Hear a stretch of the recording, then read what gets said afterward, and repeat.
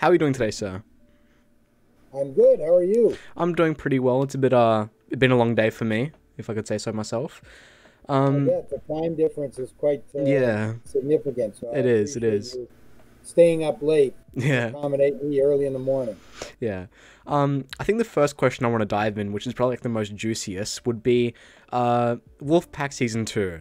Now I know that you aren't like on the writing team or like working to promote like Wolfpack season two, but like, would you want to see Wolfpack season two? And if it is a yes, what would you want to like see in season two?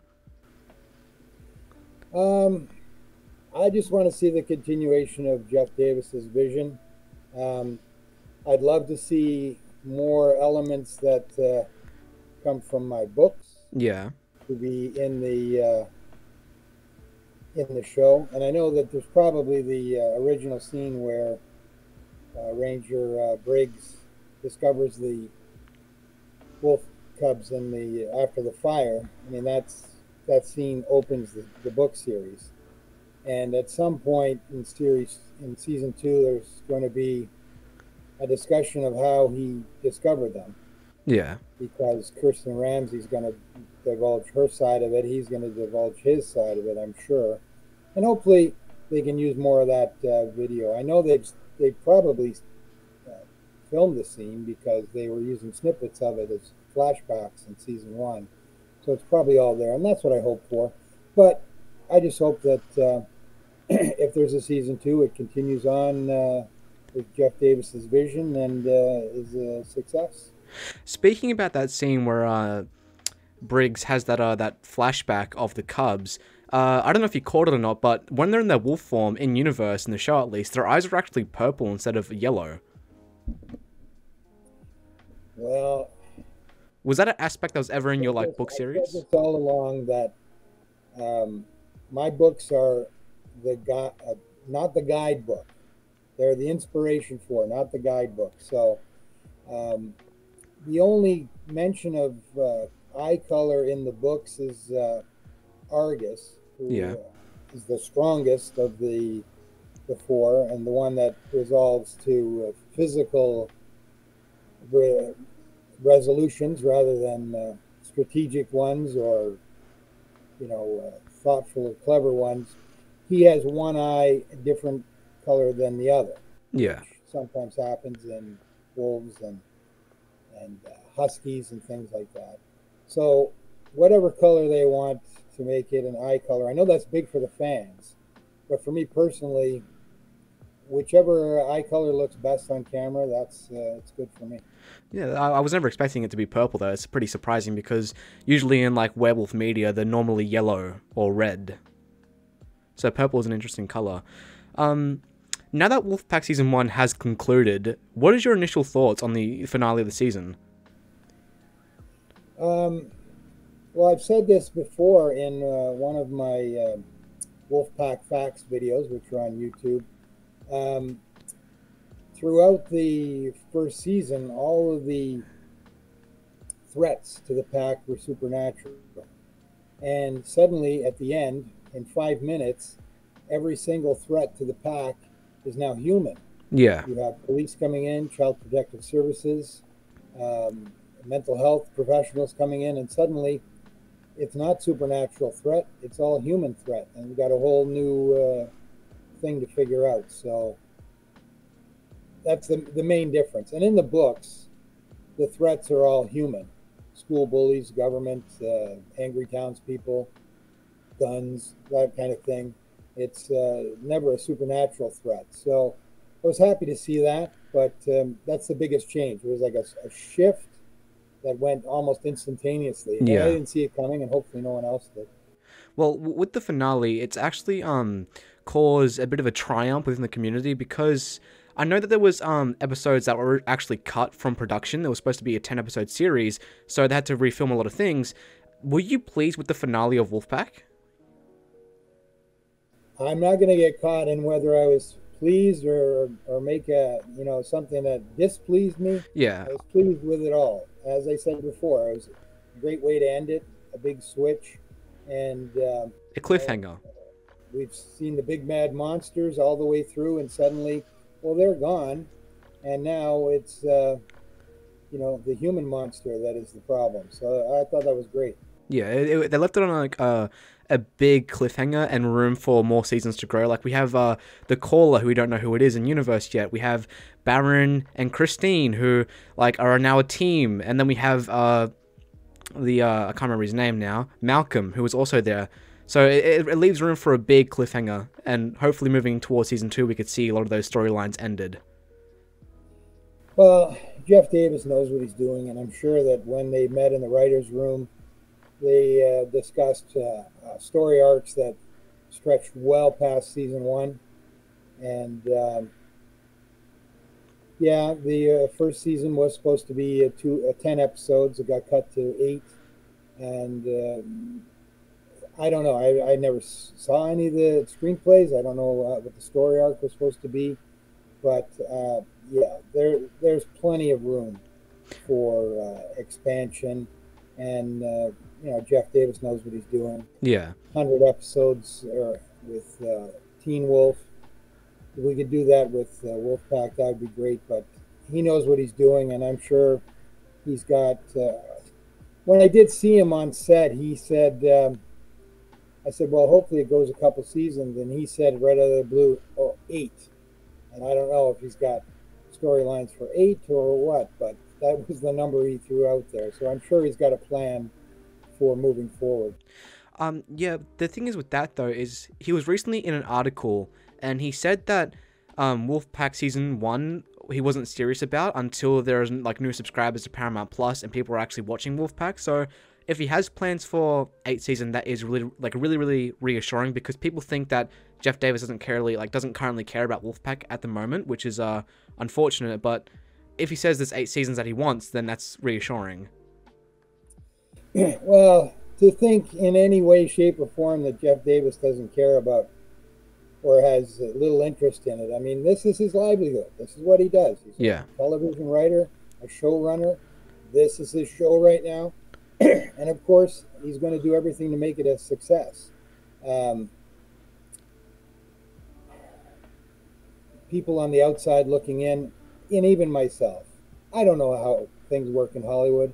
I don't know how things work in the boardrooms, how decisions are made, you know, and uh, sure, it could be easy to s- stay on the outside and say, oh, he doesn't care about it, but he cares with every bit of his being yeah. Because that's his baby right now. That's what he has going. And he wants to be a success, of course. Everybody does.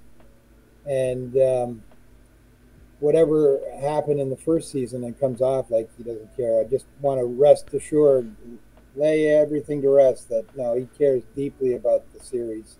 And it is his prime motivator right now moving forward. Yeah.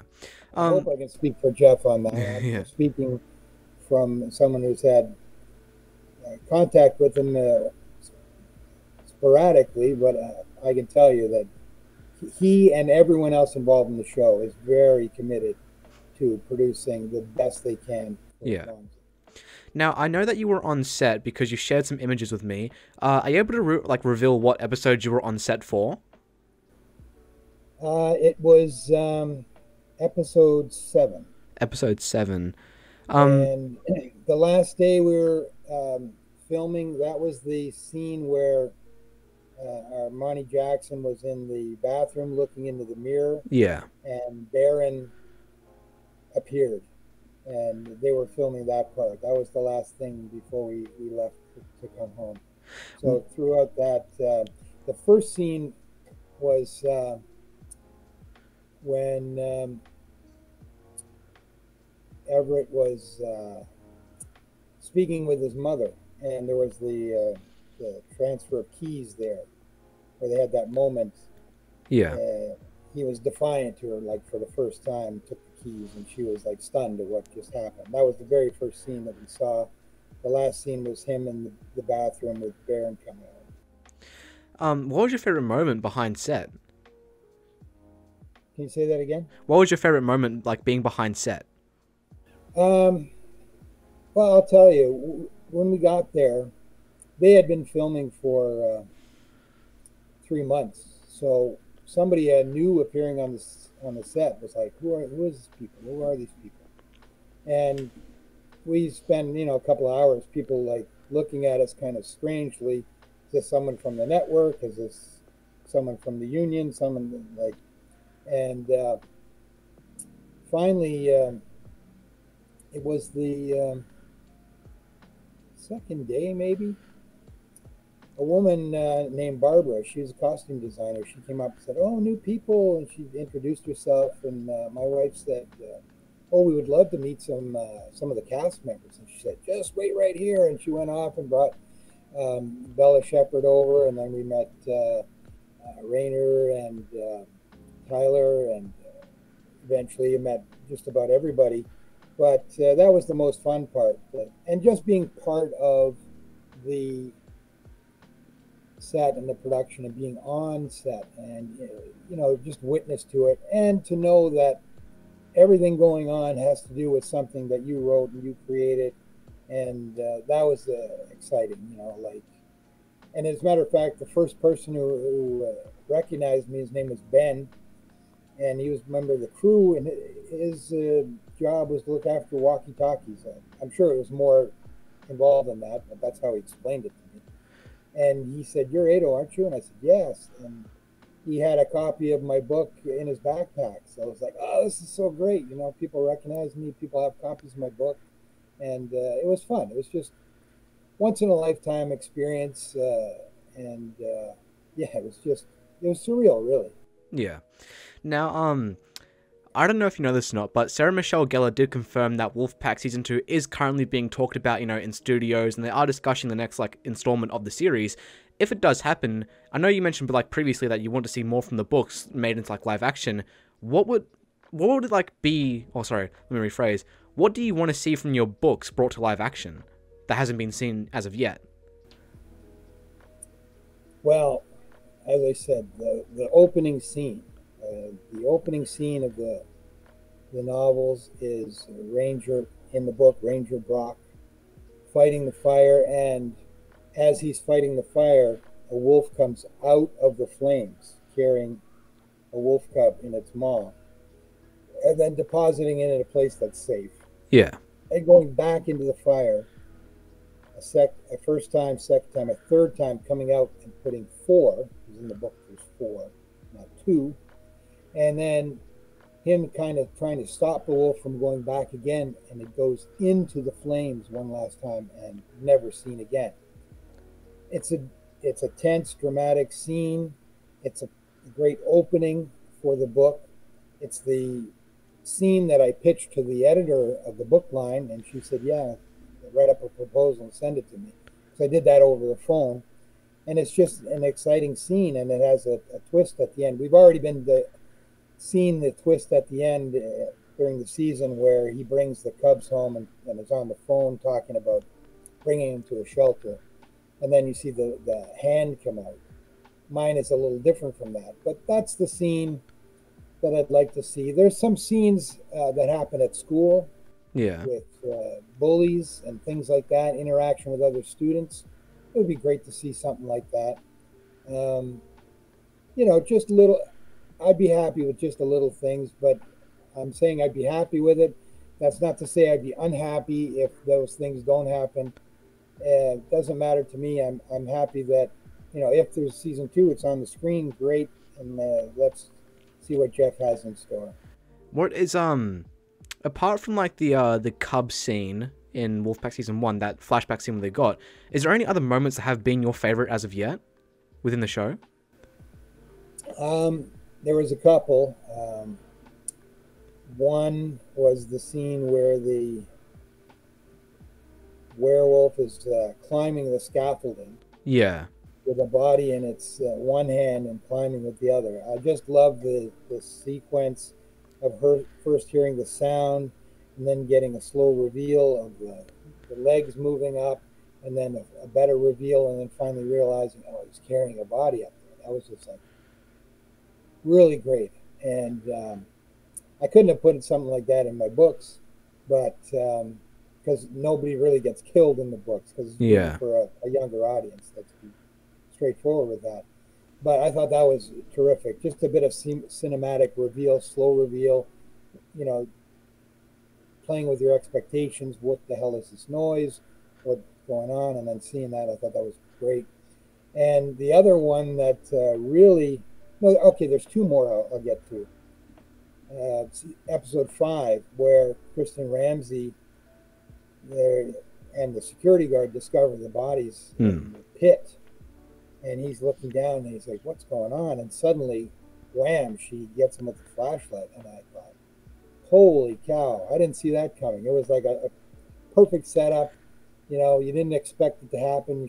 You thought she was the antagonist to the, the pack, but somehow she's more deeply involved and somehow a protector or something. She's who knows what.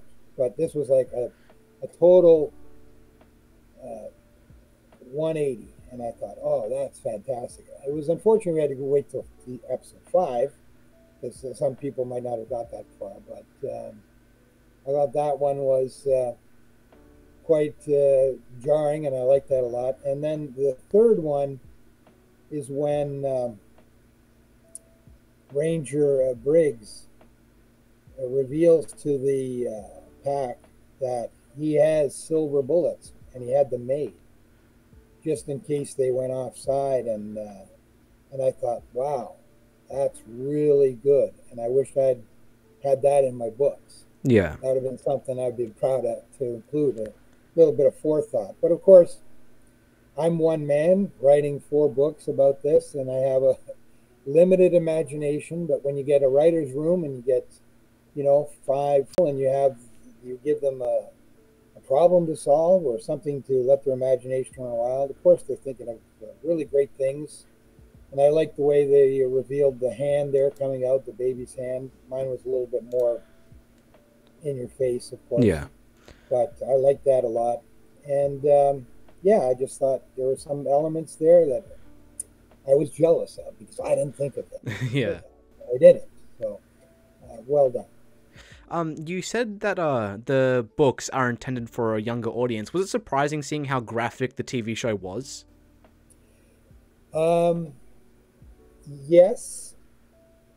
Before the show even aired, I saw interviews with Jeff Davis saying that it was going to be uh, darker and more. Um, did he say sexual or? I don't think he used that word, but it was darker and more violent than uh, Teen Wolf. Yeah. And I was thinking, well, then that's not, you know, straight from the books, because the books were um, written for middle uh, middle grade students, and it was, you know, properly written for them because it won a couple of uh, awards, one especially voted on by the grades four, five, and six.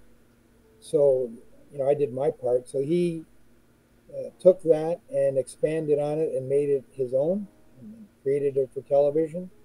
So um, I was I was surprised when I heard that, and I thought, wow, let's see what's going to happen. I look forward to seeing this.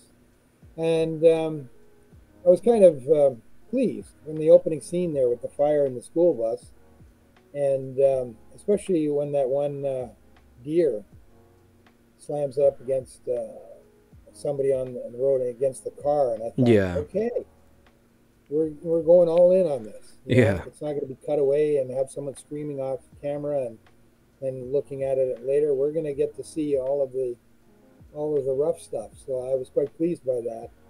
You know, if you're going to go in that direction, you might as well go all the way because there's you know no pleasing everybody if you're only stuck halfway. So Yeah. um, I was, you know, happy that he'd made decisions like that and decided to go for them and go all the way, all in. Would um would you ever imagine your book series like if you're like rewriting it again, would you write it any differently now that you've seen the show? It's an interesting question. Um, probably, uh, well, who? There's no writer alive that would be writing a series of books like this, thinking, "Oh, when it is a TV show," you know, because it Yeah. took 16 years for anyone to show interest uh, in the books for TV. So I don't think I would have written it any differently. Um, the way I wrote the books is I wanted to write adventure books for a younger audience and respect the audience, not be silly or uh, talk down to them.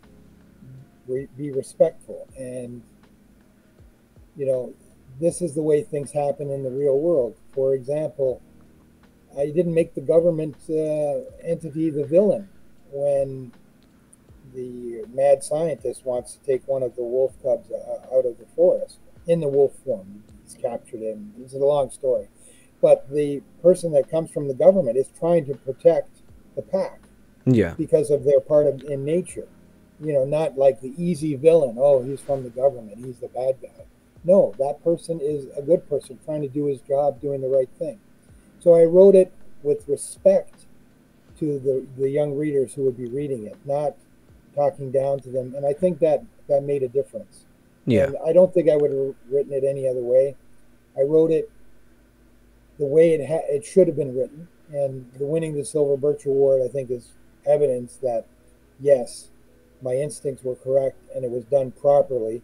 And then having it being picked up for a TV series is icing on the cake. That is something that is one in a million, struck by lightning, winning the lottery in the same day kind of thing.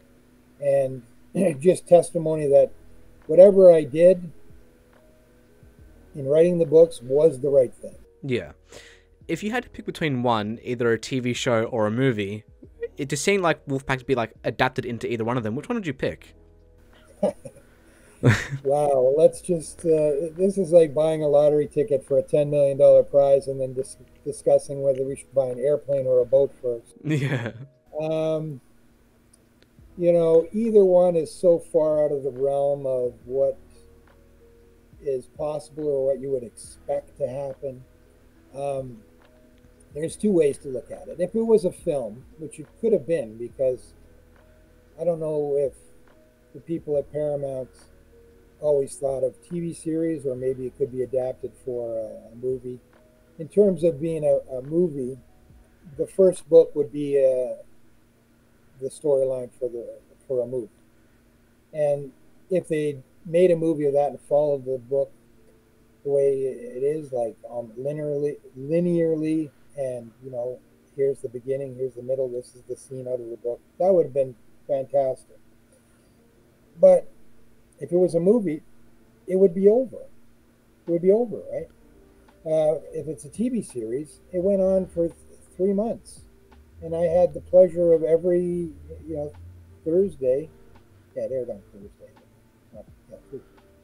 Not, yeah, Thursday. And uh, sitting down and, and watching the next episode, which, which was terrific. So, um, you know, do you like uh, bacon with your eggs or eggs with your bacon? Yeah. Uh, either one would have been great, but I'm just ecstatic the way it happened. And, you know, there's a possibility it can continue. I, I have to say, the 18 months leading up to the show and when the show was on were the most fun I've ever had as a writer. And now I get the opportunity perhaps to see it continue for another 18 months if there's a season two or even past that, season three and four. Wow, who could ask for more? So Yeah. I'm happy that it's a TV series, and uh, I would have been just as ecstatic if it was a, a film. But I'm happy the way it is and where it's going. Sure. I mean, there always is a possibility. I'm pretty sure no one thought, you know, 12 years ago when Teen Wolf came out that it would ever become a movie. So hopefully in the future we could ever like we could see Wolfpack adapted into a movie version. Sure. Um, you know, they own the property now, so uh, Paramount could uh, run it for a few seasons, come out with a TV movie. They could do a, an animated series. You know, Yeah. They, could, they would give them all kinds of possibilities to explore different things, and you know, they wouldn't be set by budgetary constraints or things like that. Who knows what? It's their property now, and um, if they have plans for it past this, let's just one thing at a time. Season two, Yeah. maybe first, and then uh, after it's canceled and there's some time in between, and we'll see. But uh, sure, they own the property, and who knows what they have plans for, and whatever they decide. Yeah, I I can't deny them. I don't have a no trade clause like no, no, no move, no feature film. I, I don't have fir- first right of refusal. So whatever they decide, I'll be good with that. Wait, uh, could you like uh, say again who owns the property of Wolfpack now? CBS Viacom, Okay. which owns Paramount. Yeah. and- So if CBS Viacom was to come to you and basically give you the rights to make other books of Wolfpack, would you ever take like take the mantle up again, or do you think that Wolfpack in the book version is now complete and that you've written everything you could?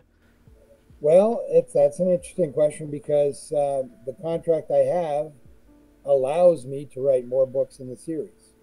Um, the problem with that is I don't know how much um, appetite there is for more books in the series.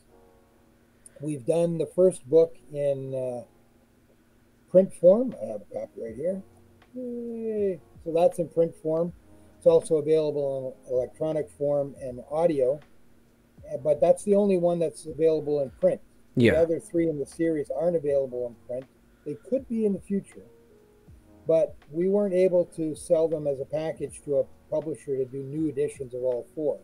So, what's the point of pitching a fifth book when you know I could, and we could probably do it in ebook version and that, and but eh, unless there are people are screaming like they're screaming for it, season two of Wolfpack. They're saying we want a fifth book in the series.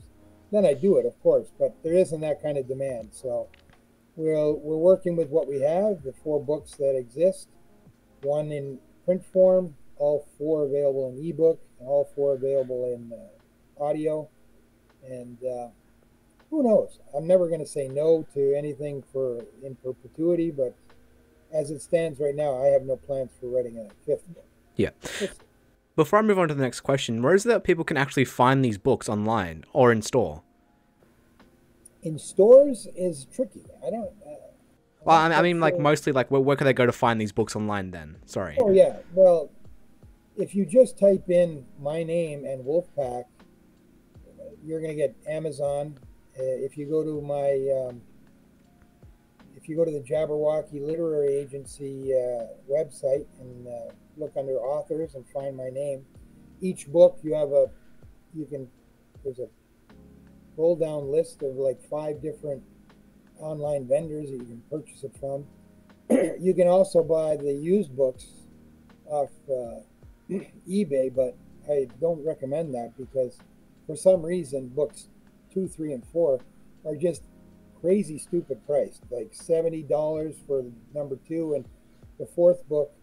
Is, well, it's rare to be sure, but they're charging like two, three, four hundred dollars for it, or asking that much. I don't know if anyone bought them Yeah. at that price. but the ebooks are available, you know, anywhere. And the audiobooks are available at Amazon and Audible. Um, so if you can't find it, you're not looking hard enough because a, a Google search with my name and the book title will bring you to some place that sells it. Yeah. Now, I know that you went through a few cover arts for the Wolfpack book series. What has been your favorite as of yet? Because I know there's a new one that has been uh, publicly shown around. It's one you had in your hand just then. Is that your favorite one as of yet? Well, um, I think the one you're mentioning is the uh, array, um Arabic version. It has uh, wolves on it and a fire in the background, Yeah. and it looks really cool. And yeah, that one is uh, very cool, and I like that a lot. It's funny that the first uh, iteration of the cover had um, five werewolves on it, four wolves and the one werewolf but there's only four in the first book. So I asked them to remove one, and they did. In the on the one side where there's more fire, so now there's four on the cover and lots of fire. So that one is pretty cool. Uh, one that's also I quite fond of is this one here, Lupi Selvaggi. It's from the first uh, the Italian edition, and uh, it's got a pre- pretty cool looking werewolf on there. Ironically, there's going to be another Italian edition sometime in the future from a different publisher. So we're going to see another thing there, plus a Czech edition from the Czech Republic. But um, to finish off, the first uh, cover of the book is terrible. Yeah. And I blame myself for that because the artist had a certain view and certain way that the wolves were going to look. And uh, I kept telling him to make it more like dog, more dog like. You can see it behind me here. Yeah. That's the cover there. Um, and it ended up looking like a dog. And I was like, oh, I can't ask him to change it again to back to the way he had it. He's going to be furious. So we left it that way. Thank God it won the awards and was a bestseller, uh, not because of the cover, and that's all my fault. So the rest of the books, I decided I'm just going to leave them the way they are because he's got a vision. I'm the writer, he's the artist. I'll let him do the drawing and painting, and I'll just write the books. And uh, that was fine.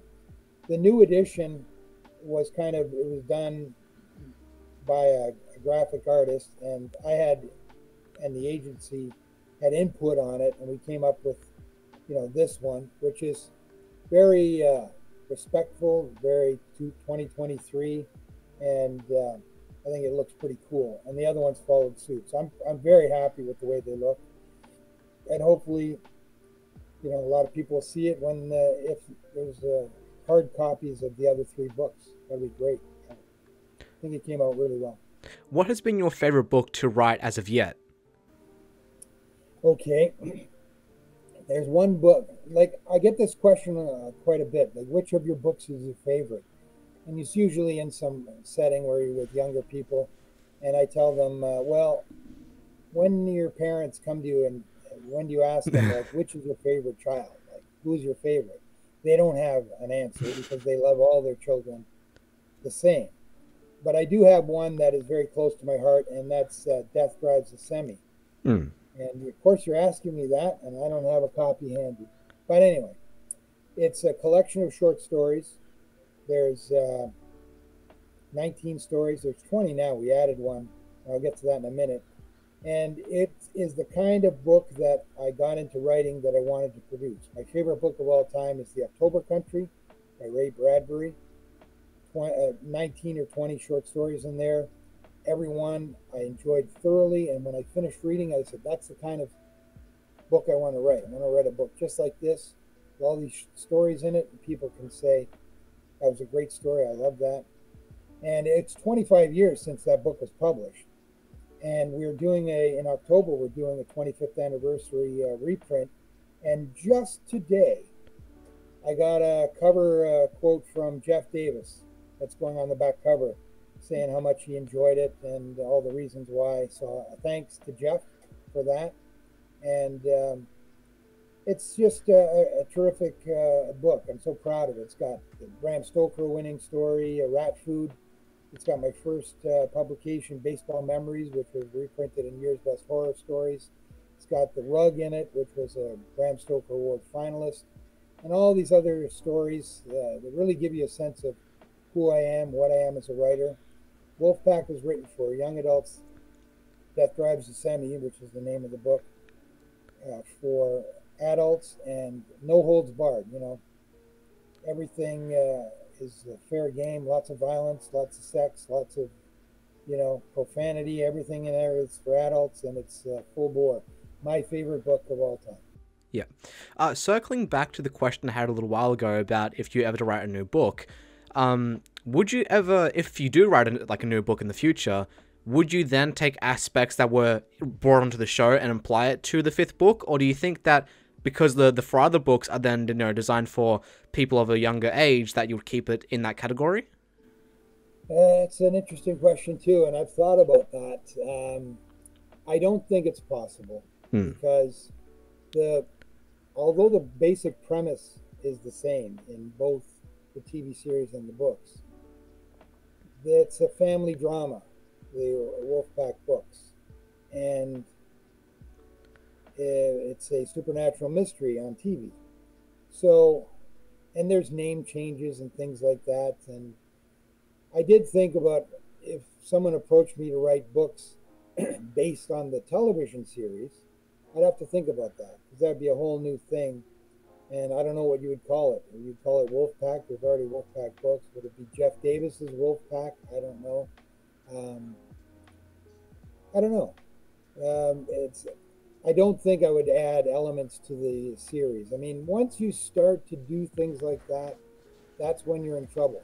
Yeah. When you're writing a, an artistic, an intellectual property based on your personal vision and you have a, absolute clarity of where it goes and what it should be, then it can be successful. If I wanted, if I tried to do that and then say, oh, I'm going to add this and that, it's going to cloud the issue. It's going to make things, people are going to question where did that come from? How did that come in? Because there's been four books to set all the rules of how things work in this universe.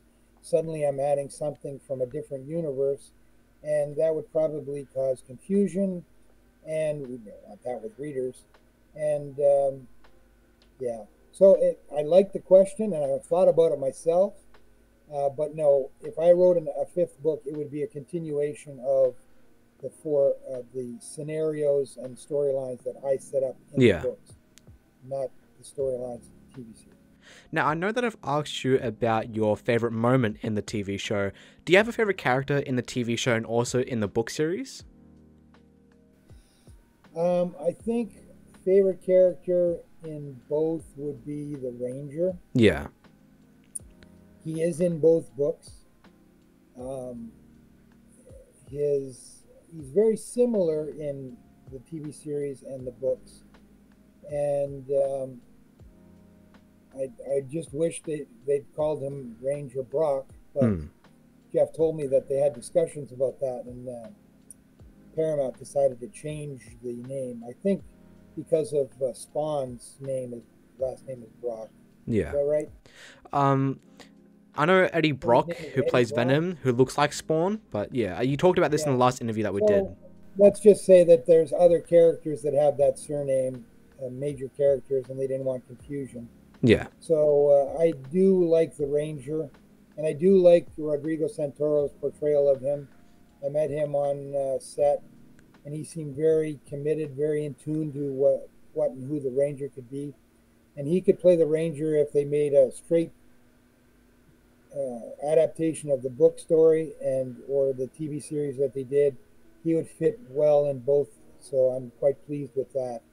Uh, he's he's taken it seriously. He plays it very straightforward, and I like that. He's well prepared, and um, he's also the guiding figure in the book series. The pack looks up to him in the book series. They never call him Dad in the book series, by the way. They call him the Ranger or Ranger Brock. Yeah. As a as a title of respect, because the pack realizes he is like a guardian of the forest, which is important to them. So they never really call him Dad, but they treat him as a father and respect him as a father. Yeah. Um, there's one other thing about characters I did um, meet uh, Nob Nobi. I can't remember his last name. The gentleman who plays the uh, principal on the show. Hmm. Um, I apologize to him. I remember his first name now, not his Nakanishi. I think his last name is. Like oh, and I think I know his name. I know his name too. Um, I know who you're talking about. I do know who you're talking yeah. about. So I met him at the premiere, and uh, he said, "Oh, I play the uh, the principal in the show, and I said, "Oh my God, please tell me that your name, your last name is Terashita, because he's a Japanese gentleman in the books. The principal is named Terashita." He said, uh, "No," and they changed that name too, and I was like, hmm. "Oh my God, are you kidding me? You couldn't keep that? it was a Japanese name. They couldn't even keep it." But that's that's fine. I'm glad that whether Jeff cast it as a Japanese uh, actor, an Asian actor, because it was in the book that way. I'm pleased with that, and I'm just like, oh, couldn't get that name right either. But I'm I'm happy that he's in there and he does a good job, and I was uh, pleased to meet him. I was quite pleased, and uh, so yeah, characters. My favorite character is clearly uh, the Ranger. The Ranger. Yeah. Now, I have a question that is about the books and, of course, the TV series. Now, in the TV show, as we know that when the pack members are separated, they can't access their full abilities, only have one. Like Harlan has hearing, Everett has strength, I think Luna has smell, and then I think Blake has speed. And when they're all together, they can access it like all together. Was that ever thing brought into the books as well, or that was actually written originally in the books? Um, that's a good question too. In the book, each member of the pack has a, a skill or ability that is better than another members. Yeah. So clearly, Jeff took that and gave them specific things that are even greater when they're together. When they're in a group, they realize that some have abilities that others don't, and those members take over the lead for that. You know, like we're running through the forest, tracking somebody, and um, Like as a team, they work like a team. Has the best uh, sense of smell, but that one would be, uh, and uh, they haven't mentioned it yet, but in the book series, Harlan has an ability with uh, computers and Hmm. technology. Um, they haven't broached that yet. Maybe they, they will at some point. And uh, just a little note that people would find uh, Harlan in the book series is the runt of the litter, the smallest. And I named him Harlan in deference to Harlan Ellison, the science fiction writer, who was a man with a, a lion's heart and huge character and, you know, voracious character could take over a room. But he was a small man, and I just thought, I'm going to name him Harlan. And it's kind of ironic that in the TV series, Harlan, Tyler Lawrence Gray, seems to be the largest. I know Yeah. he's only slightly larger, but physically in the presence on screen, he looks far larger than Armani Jackson does. And but he's still named Harlan. I got a kick out of that. The the runt of the litter in the books is actually the biggest in the TV series. But I'm all good with that. Now I know we talked this uh, talked about this in the last time we like we were on a recording together, but was there ever like you know in Teen Wolf there's Alpha, Beta, Omega? Was that ever in your book series? No. Okay. Um. Uh, I never went for anything like that. Um, my idea when I started was there were going to be teenagers with all teenage problems, plus they're werewolves. Yeah. So they go to they have to go to school. There's going to be bullies. The ranger has forbidden them to use any of their abilities in school against humans because he's afraid that one of them is going to kill somebody. For example, uh, Argus, the strongest, uh, the football coach is always asking him, "When are you going to come out for the team? Come on out for the team." And he says, "No, no, no, I can't. I don't. I don't want to." Because the ranger has forbidden him. I know in, in Teen Wolf there's the lacrosse going on, and and he does at times they use their powers and they excel on the field, but that was forbidden by the ranger in the Teen Wolf series. And um, so it was only about teenagers with teenage problems. Plus, they've got this added burden that they're werewolves. They have to keep that secret Yeah. and they have to live their lives as sort of away from that. So that was the whole thing. There was no alpha, beta, no hierarchy of who they were. And as a matter of fact, in the first book, there is no other werewolves. In the second book, they come across a werewolf named uh, Phelan, who knows what happened to their mother and father, and he tells them what's what happened in the story there. But no, there was never any of that when I wrote the books. Well, if you had to pick one in the TV series to be the leader of the pack, who would you pick? Um, uh, I don't know. I, I haven't seen enough of the characters.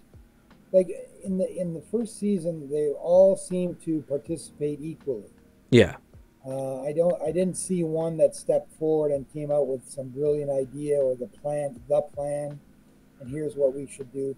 and these things happen organically, right? In the t- in the book series, Noble became the default leader because he always seemed to have the best ideas or a plan or something reasonable or a way to work out a problem or the ability to say, well, let's not try that physical violence first. Let's try this instead.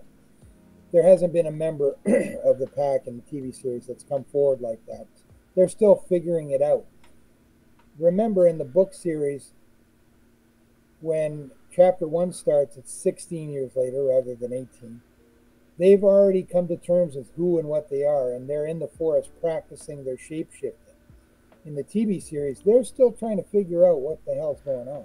Yeah. So to say that this person, this one or that one should be the leader, I can't say because they're still trying to figure out um, where they are and what they are. And let's remember, the book is called and the TV series is called Wolf Pack. not alpha wolf, right? So they are best when they work together as a team, and they're strongest when they work together as a team. So I don't know that having one of them being alpha would make any sense. Who knows? I mean, you got Baron coming in on the outside. Who knows how where he's going to fit in? And as the book hinted, and the TV series, there could have been others that were left in the fire. Um, there's a line in, uh, I think it's the first book, says, "Were there others that didn't make it? We don't know, but these four survived, so we're going to deal with these four. But it left it open that there could be others in the forest, and you know, it's a TV series, and uh, there could be others. It's a big forest out there, and uh, but no, I don't think. Uh, I'm gonna Sorry, you lagged there. Could you repeat what you just said? You lagged there. Could you repeat what you just said? I'm, I'm, I'm really not going to speculate on who would be the alpha. Yeah. I don't think there's going to be one. I think the pack is a cohesive unit and they work best together. Yeah. So I'm going to leave it at that. Um, I'm going to talk about Teen Wolf here, but I'm, I'm I think I remember you saying that you've watched a bit of Teen Wolf. Is that correct? Yes, I watched uh, about half the first season, Yeah. and then uh, my thoughts went to the Wolfpack series. So in Teen Wolf, there are multiple supernatural like creatures like the Kanima or uh, Banshee and stuff like that. Would you ever want to see that in the live action of Wolfpack? And is there any other supernatural creatures within your book, or is it just strictly werewolves? In the books, it's all werewolves, just werewolves. Um, there is a different kind of werewolf in Wolf Man. I mean, the, the classic one is, you know, a human gets bit by a wolf and becomes a werewolf. So in the fourth book, I wanted to explore the possibility of a wolf being bitten by a man or a werewolf Yeah. and then that wolf would become werewolf. And with none of the preconceived notions that humans have about property, social norms, what's right and what's wrong, it would come to being this creature with all of the instincts of the wolf. Like everything is mine. If I can, you know, when I'm hungry, I get food from wherever it's available, and and then this new creature is terrorizing the town because it's taking livestock and and you know it has no bounds. Uh, but I don't. I know Teen Wolf is sort of like supernatural uh, beacon in Beacon Hills. Yeah. It was a supernatural beacon for all of these supernatural creatures, and that suited the show. Uh, I don't know if Wolfpack is the same kind of show because it's dealing with these this pack and and we've clearly seen that the the peril comes first from supernatural. Now we've kind of ended with that, and now I think for foreseeable future, all of the threats are going to be human. Yeah. It's going to make for an interesting thing. And I know in Teen Wolf they had the hunters, and they were a threat to the the, the wolves there, but it's a different kind of threat. You know, these humans can lock you away in jail, and you're kind of stuck there, or they can put you in a hospital, and there you are. So, um, I I'm only speculating. It's not my TV series, but uh, I'd be surprised if suddenly there was the appearance of different uh, creatures. Yeah. Could be. I mean, Jeff's got if Jeff's got a plan for that. I'm sure he's going to put that seamlessly into the series, and everyone will say, "Oh yeah, okay, I get that." But um, personally, there was never any other supernatural creatures in the in the uh, book series. Werewolves were plenty. Yeah. Would you ever want to see like you know vampires or like I said before like uh the Kanima, which is a south a Southern American well, well like a supernatural creature in the uh, TV show of Wolfpack? Um, if something other supernatural creature comes in the TV series, I would expect it would be a different kind of werewolf. Yeah. Uh, uh, there's plenty of species. There's plenty of races of human beings. Who knows? There could be a different kind of um, werewolf.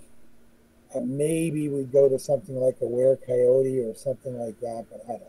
Yeah. I mean, that's all speculation on my part. I know that's all speculation on my part. I know fans would be saying, "Oh, he said there's going to be." I, I have no idea. Yeah. and I can't picture it. Um, the way I set it up, it was just about these personal teenage problems, plus them being werewolves. Yeah. Not about, oh my God, how are we going to deal with this other creature? Like, what? First of all, what the hell is that thing? There was none of that in the books, and um, I can't speak to the series, but I would imagine that Jeff is going to keep it kind of focused on the pack. Now, I know that you said that you did watch a bit of Teen Wolf. I have a future video plan where I'm putting uh, the pack from like Wolf Pack and the pack from like Teen Wolf uh, against each other for a fight. Could I get like your personal opinion on who you think would win in a personal fight between Wolf Pack and uh, Teen Wolf? Well, you know, beyond my, I didn't expect these these kind of questions. Like, what if? Yeah. But uh, if the pack gets into a fight, all four would be involved, Yeah. right? Uh, I don't know if uh, how many would be involved from the other side, and let's face it, all of their abilities haven't been explored yet. We know one has strength, and we have the other abilities, and we've seen what we have to assume is Baron, what he looks like when he goes into beast mode. Yeah. We haven't seen the other members of the pack do that. And if they were going up against uh, creatures from uh, Teen Wolf, they would have to be in beast mode to, to uh, have a chance. It would seem. I don't. This is all speculation and kind of crazy. Like, which Power Ranger is the strongest? I don't know. You know, Yeah. The blue one. Um, but uh, maybe their, their powers get expanded and we get to see uh, what they're truly capable of. I, I, I haven't seen it yet. They're kind of figuring it out still. Yeah. Now, I know when Wolfpack uh, got announced back in 2022 or 2021 to be a live, you know, action show by Jeff Davis, a lot of people said that it was a spin-off of Teen Wolf. Now, I know that it's not, but do you think it would be cool in the possible future if, I'm just saying if, there's ever a crossover between the two for like a special movie or a TV, like a television season, do you think it would be cool to have those two universes cross over? It would be cool, sure, but it's never going to happen. Yeah. It would be like, oh, could Sarah Michelle Gellar do a guest spot on Wolfpack as Buffy? It's never going to happen. Hmm. Um, never mind the, the rights involved. I know CBS Viacom owns, for the most part, uh, Teen Wolf, but it's still owned by in whole by MGM, and they would have to make some kind of agreement and to go through all of that hassle just to have some Tyler Posey show up on screen as uh, as Scott. His name, first name Scott. Yeah, Scott McCall. Um, it just wouldn't be worth it. Yeah. And I know people are thinking that, and wouldn't it be cool? But these are two different universes, and the uh, you know nothing else exists except these werewolves in my book version. So, um, and I don't think Jeff is going to entertain that either. They're two different universes. It's like would um, would you expect any kind of other werewolf from any other werewolf universe to show up there? Yeah. It would be like, what are you doing? You know, it's it just I don't think it would happen. I mean, it's it's great to speculate, and I know fans and fan bases do that, so you can continue on doing that. But from my perspective, I don't think it's ever going to happen. Yeah. Say. in Teen Wolf, it was con- well, it was kind of speculated that the werewolves were created by Zeus through like an old mythology like uh, story there, where basically uh, a person named Lycan came and fed Zeus human remains, and Zeus turned him into a werewolf. In your book series, did you ever go deeper to talk about and explain the origins and mythology of the werewolves, like how they're created, like the uh, the rules behind being a werewolf? Because in Teen Wolf, there's stuff like you know Mountain Ash and Wolfsbane. Was that ever introduced into your book series? Never. I mean, coming from a, a horror background and writing all kind of horror stories, my whole thing was they just exist. Yeah. I mean, when a lot of times in horror novels, everything is going great, and this the suspense is terrific and everything, and then at the end they have to explain something about why it happened or how it happened, and then it, everything gets ridiculous and falls apart. Yeah. I don't know where these werewolves came from. I'm assuming that the forest is full of them, and sometimes they come into the human realm, and problems abound. Um, when when I was doing book tours in elementary schools for Wolfpack, I went uh, through central British Columbia, which is where the books are set, Hmm. and I would tell the uh, the children you know, before I started reading from the book, I'd say, I set the books in central British Columbia because everybody knows there's more werewolves in British Columbia than say northern Ontario, and their mouths just what really? And I said, no, no, I'm just kidding. But they believe that. And Yeah. That's all I needed to tell them. I gave them a deadpan explanation and they took it.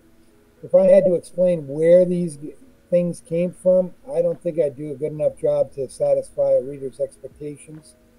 I even had trouble explaining how a forest ranger could adopt four children, all the same age, no birth certificate, no expectant mother around ever. No one saw. He just suddenly had four children, and now he's raising them at his own. Where did they come from? How did he get a birth certificate?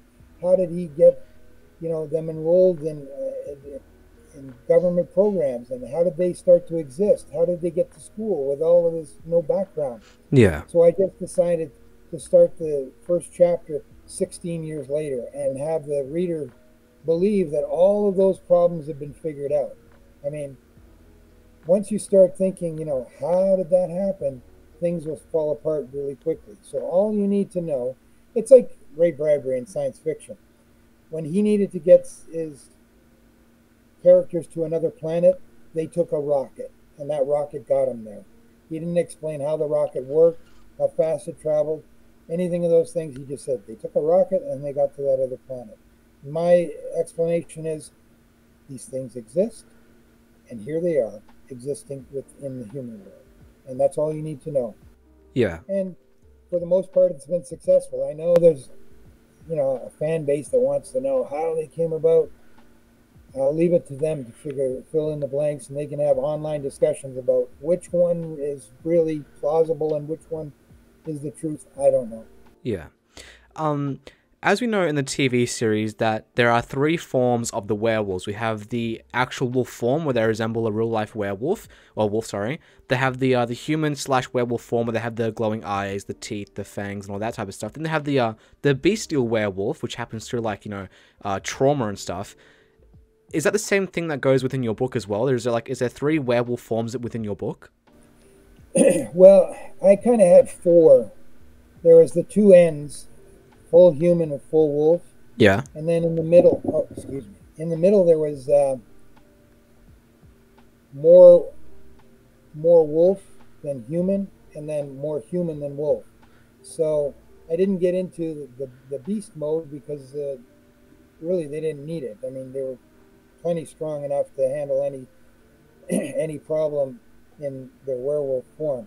But um, you know, television has limitations for makeup and CGI and things like that. Especially television series CGI budgets are, you know, not as good as they could be for a feature film.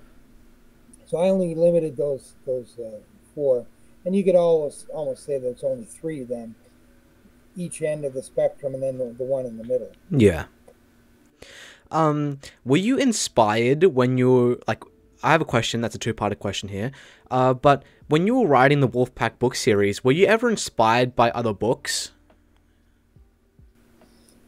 Well, I came from a background of writing horror stories from all kinds of all kinds of horror stories and uh, read werewolf stories and, and all kinds of things. I just wanted to set a werewolf story in the modern day with teenagers and have it be portrayed as realistic. Yeah. That was my main thing. if I've been inspired, there's a there's all kinds of films that I watched, of course. One in particular, a Canadian werewolf film called Ginger Snaps. I don't know if you've seen that movie. when I first saw that movie, I, the way they handled it, and it was realistic, and the there was it was a curse, not a blessing, and I just loved the way that was. So that was probably an inspiration to do this kind of thing. Have the supernatural element, absolutely, but set it in the real world where people can believe it's possible. yeah. Portray it in a way that doesn't consider the reader, you know, talking down to the reader and just making outlandish claims that they expect them to believe. Let's portray it in a way that seems realistic, like it could happen on your street or at your school. I have a friend who's also a YouTuber. His name's Jade's Corner, and he's written a book called True Alpha. In that book, he's inspired by like multiple different shows and movies and other books, and he, he uses aspects from like each individual, you know, series that he's inspired by to write his own original story. A lot of people give him like a lot of hate because at first glance it does seem a bit misleading. Would you like? Would there be any advice to give him who is trying to, you know, make it as a book writer, uh, when it comes to people doubting his work? Well, there's always going to be haters. Yeah. As a matter of fact, on one forum just this past month, I posted about um, a daily deal on the Kindle version of one of the books, Cry Wolf, I think it was. And this person on there was like just berating me because um, it wasn't it wasn't uh, talking about the season being renewed, and I said no, but personally this is great because no, I, I talked about the Arabic edition. That was Yeah. and I said there's more people going to read it in a part of the world that they hadn't read any of my work before, and it's expanding the universe. And you know, I'm just happy that more people are reading. And then she started saying, "Well, your book is old, and it has probably has grammatical errors in it, and if it was any good, it would be reprinted or redone, and it, it has been." You know, there's edition from 2004 and an edition from 2022.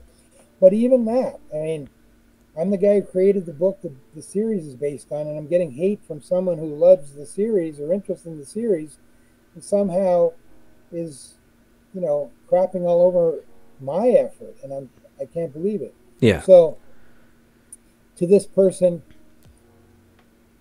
there's really no real newish new things to invent in all of these. You can put a twist on some aspect of it and call it new, which hopefully I did, and here something is new.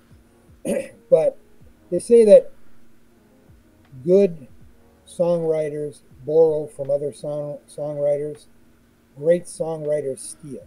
Yeah. And you can put that across any artistic endeavor. If you're thinking that you're going to recreate and reinvent the wheel, even with werewolves or vampires, I can assure you that any aspect you think that, oh, I just came up with this brilliant idea, no one's ever thought of it before, there's probably five people that have written and published with that idea in there. So taking little bits from everybody else and putting it together and making it your own package is fine. So, but one thing is key: you have to acknowledge all of that, Yeah. right? You He does. Say, oh no, I invented that, or no, this is new, or I did. Say, look, I took from everywhere and I made something that is personal to me. This That's what he does. That's what he says. That's what he says. and that's fine. And there's going to be haters.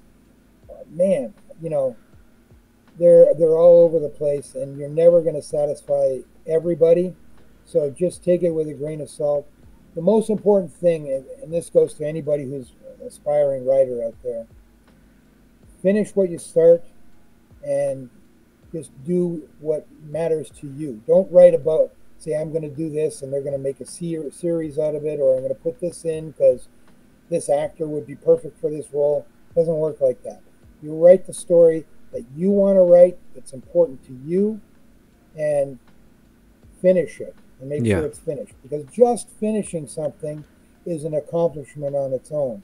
Getting it published in one form or another is another level altogether. So congratulations on that. And that's the only thing people should be happy for. If you don't like the way it was handled, then write your own version Yeah. do it the way you see it should be done.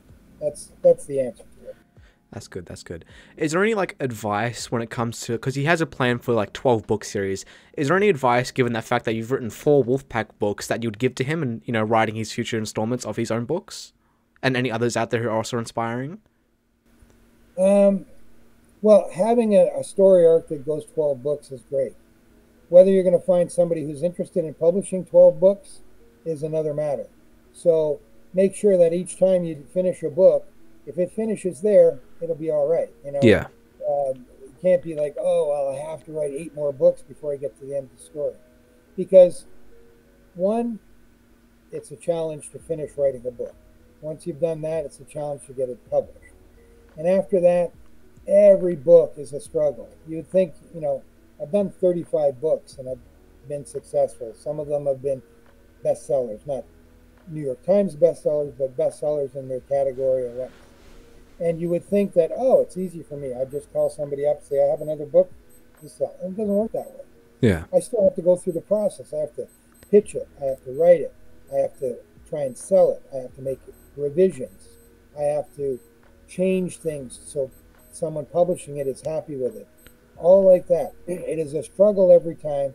And it's great to have a plan because I didn't have a plan for four books in the Wolfpack series. I did the first one. It was a best-selling book for the publisher. Won a couple of awards. Hey, how about I do a couple more books? Sure. So we did two more, and then can I do one more? Yes. And then the sales of the series fell off, and there was no more interest in a book five. And that's the reality of publishing. So it's great to have a plan, just one book at a time, do the best you can with it, and when that's done, and it's sent off and that's your baby and it's born, then look to the next one. Yeah. That's the best advice I can do. Is sit down in front of a computer, start writing, and you don't get up till it's finished.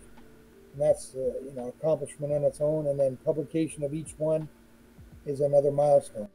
How do you go to get a book published? Well, there's all different ways. Uh, the best for an aspiring writer is to write the full book, make it as best you can, and then try to get it published. There's no secret formula. There's no uh, call this guy and he'll help you get it done. Every every book I've ever done had a different route to getting published. Uh, some were circuitous, some languished, some were almost instantaneous, and I could never tell how. Yeah. Um, I'm at the point now where if I wanted to do, do a new book, I've been I haven't published a new book in so long. I'd have to finish the whole. I'd have to write the whole book and then try to send it to my agent and get to see if he could sell it to a publisher.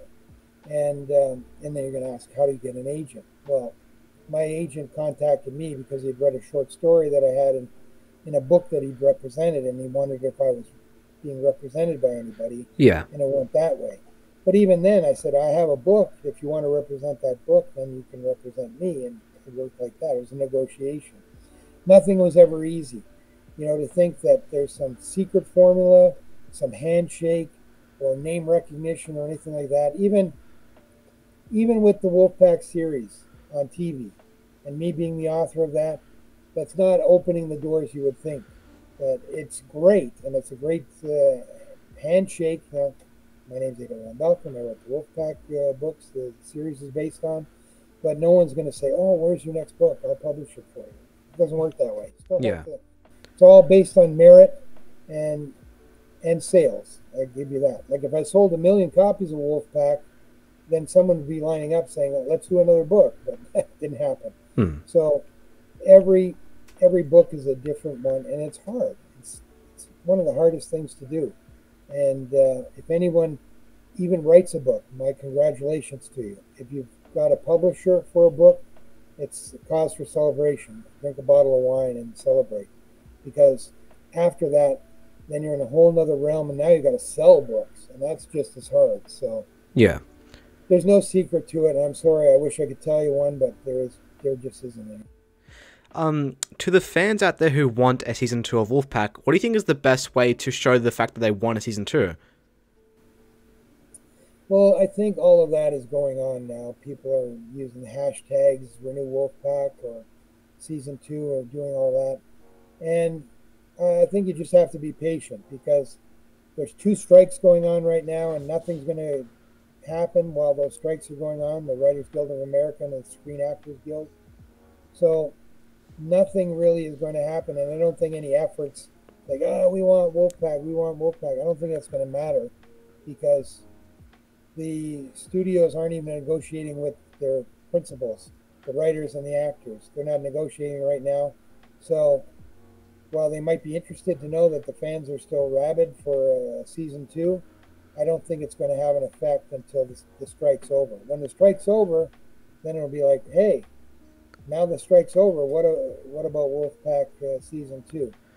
And you know, by the time the strike's over, they've had plenty of time to decide whether they want to do it or not. Yeah, I'm sure the decision has been made already, just waiting for this the strike to be over to announce it because it wouldn't.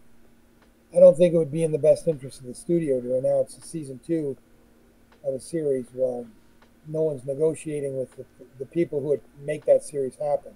So I think we just have to wait for the strikes to be over, hopefully sooner rather than later, and uh, we'll we'll go from there. What are your thoughts going like uh, about the strikes that are currently going on within Hollywood? Well, I'm glad you asked that because I want to put out there that I'm a supporter of uh, both strikes. I'm not a member of either union, but I have been a union member and I have gone out on con- first contract strike at a newspaper. Um, and it's a terrible time, and it went for 106 days. This is even going, looks like it's going to go longer than that. And, you know, the, the people at the top end, the showrunners and people that are famous, they're going to be fine because it's the people that, you know, bit players and extras and people who, you know, have a few gigs a year, they're the ones that are in, in trouble. But I'm totally supportive of that. And I want to make sure that I'm on this podcast supporting, uh, promoting my books. Yeah. mentioning the series, but I'm not telling everybody to go watch the series or anything like that. All these people who are watching this are already familiar with the series enough. But I'm not advocating for the, the show, I'm advocating for my books and comparing them to the series. Yeah. And I do hope that the strikes are negotiated fairly and the writers and actors come out with a fair uh, result. I must say, my option agreement with CBS Viacom has a stipulation uh, for a share of modified adjusted gross receipts, MAGR. And that's uh, Hollywood Talk for Profit. So, what they're negotiating now is how to figure out profit from streaming projects. So, who knows? I might benefit from the strike in some small way Yeah, sometime in the future. I'm not holding out, uh, holding my breath because, you know, having a Hollywood pro- uh, property claim a, a profit is almost unheard of. They'll go for years saying we haven't made any money yet back yet on it, even though, you know, something like Forrest Gump made six three hundred million dollars, and Winston Groom had to sue, actually Paramount Studios, to get a settlement because he had a, a part in the profits, and they said, "Man, I haven't made any profit." Forrest Gump, if you can believe it. Hmm. So that's the kind of thing they're up against, and I support their strike and uh, wait patiently for it to end to see what uh, my fate is and the fate of the TV series. is there any way for people who like who aren't union members, who aren't actors, who aren't writers to support the strike? Well, that's an interesting question. Uh, I was thinking if I lived in Los Angeles and I decided I would go down to wherever some of the picket lines were, um, I think, uh, you know, I, I, they'd be happy if I picked up a, a placard and started marching the, in the picket line. Yeah, You could do that, or you could go down there and just support your the actors and writers that are on strike. Who knows? You might see somebody you, you recognize. Um, there's other things you can do. I'm, I'm assume you could like for some of the streaming services, you could cancel your subscription for now, or you could refuse to participate in in uh, you know. There's all kinds of things, but just even letting your if you're in touch with any actors or you're on any uh, forums or websites, just to let those people know that you support what they're doing, it makes makes a difference for the people on the strike line to know that while they're fighting big business, uh, people who appreciate what they do are supporting them in their endeavor rather than the studios. So there's, you know, just be a participant and show your support in any way you can. Yeah. Now the last question I have for you, Edo, is a two-parter. Uh, now that we're ending like ending this uh, video off, is there anything you want to say to the people who are watching this currently? Um, if anyone is watching, and I appreciate that you are, and if you're interested in my books, um, I appreciate that because I found that a lot of times people aren't interested in the author of the, the novel that inspired the series. I'll give you one example. Um, there was some Instagram account from Italy that was going to be about the Wolfpack show. And I thought, oh, great, I'm half Italian. My mother was Italian. I, I understand the language a little bit. And as I showed you before, there was this edition of Wolfpack that was in Italy. And Yeah. So I said, oh, that's great. You know, like I explained all that to her. I sent her a, uh image of the cover of the